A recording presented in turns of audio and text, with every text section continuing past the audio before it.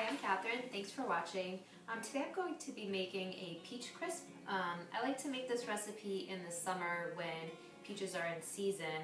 Um, peaches are a naturally very sweet fruit, so I like to use it in desserts because you don't really have to add a lot of additional um, sweetener to it and it makes a really good dessert. Um, and I also like it because they're very tender, so you really don't need to bake them as long as you would any other kind of fruit. Um, so I'm going to start by going some, over some of the ingredients with you. I'm going to be using three peaches, some butter, cinnamon, and honey, also some lemon, arrowroot starch, and almond flour. So let's get started. So I've begun just peeling and dicing the peaches.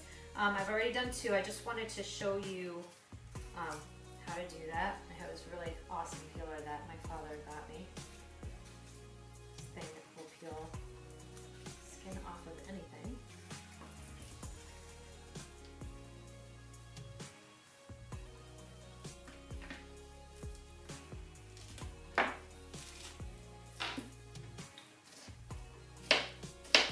You're just gonna dice that up. So I finished dicing up the peaches and I'm gonna just add a couple things to them now. I'm gonna take about three quarters of a tablespoon of honey and just drizzle that on there. I'm gonna kind of eyeball it. And I have one tablespoon of the arrowroot starch. This is a one-for-one -one replacement for like a cornstarch. It's something you can use. It doesn't really have a flavor that helps kind of thicken sauces. Um, so this will help kind of bind the, that liquid that will kind of let from the peaches. I'm gonna just add that in there so it, it kind of helps it so it doesn't have like really a soupy texture. Kind of stir that up.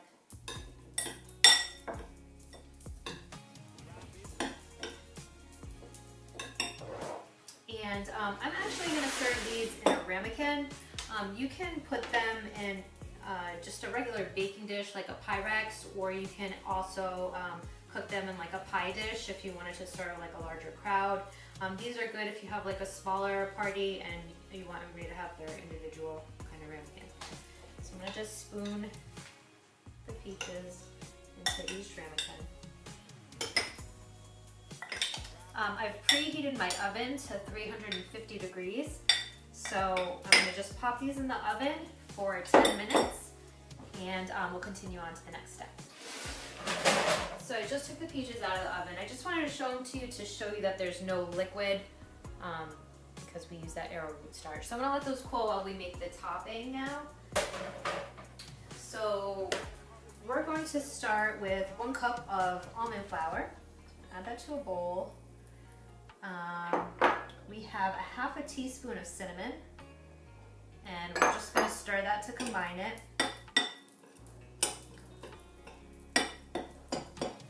I've taken four tablespoons of butter and I've just cut it up into little cubes.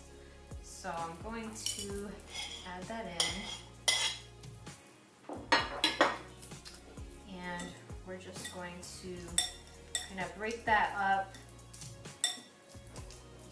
until the butter and the almond flour combination kind of resembles like a coarse crumb.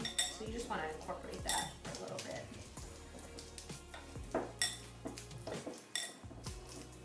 So it's going to stick, so you just want to kind of get out of you can keep working it.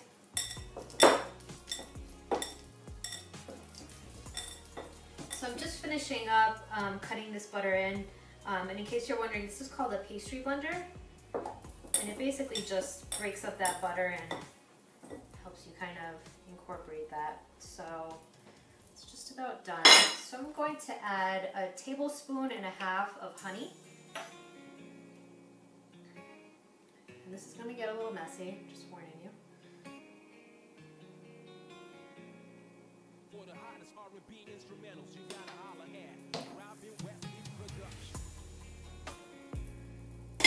now you need to just get in there and kind of, um, you're gonna really get it really mushy. Um, and you just wanna kind of get that honey in throughout all the almond flour just to get it sweeter. Um, once it's all kind of sticking together like that, it's all set. So I'm going to just um, clean up my hands and I'll be right back. So our final step is adding the crisp topping to the peaches. So you're just going to grab a little bit and um, you want to kind of thin it out so that it's not too thick on the top.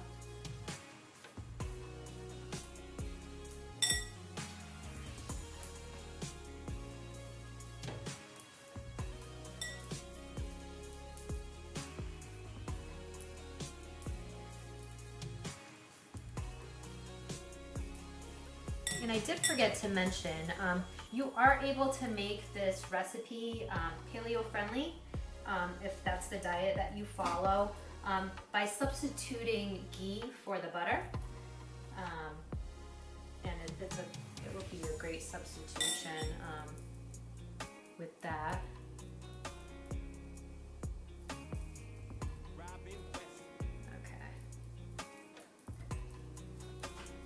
So again, the oven is set to 350, so I'm gonna put that in now. Um, I'm going to check them after 20 minutes. It really depends on your stove.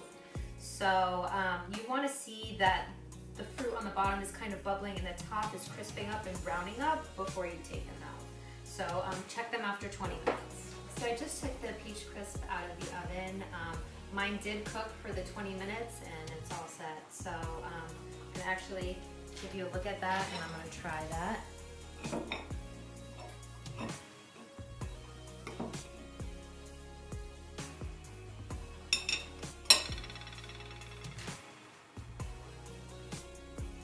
So the honey has really amplified the sweetness of the peaches um, and the crumbles really crisped up and um, it just has a really nice contrast um, against the softness of the peaches and it has a really great nutty flavor.